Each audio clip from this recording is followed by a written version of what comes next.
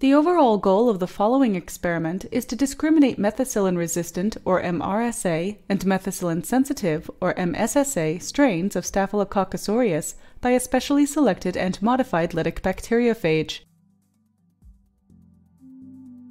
When bacteria are attached to the long flexible tails of the lytic phage, the distance between the attached cells and the sensor surface is larger than the penetration of the QCM's acoustic wave, Therefore, the signal of the binding event is not generated.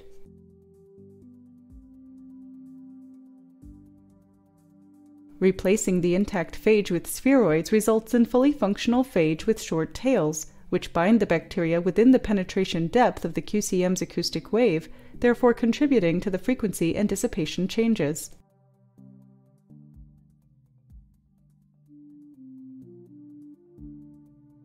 When phage spheroids are deposited on a QCMD crystal and exposed to the mixed bacterial suspension, they bind both the MRSA and MSSA strains of Staphylococcus aureus, but not other bacteria, separating the Staphylococcus aureus from the other bacteria on the crystal surface.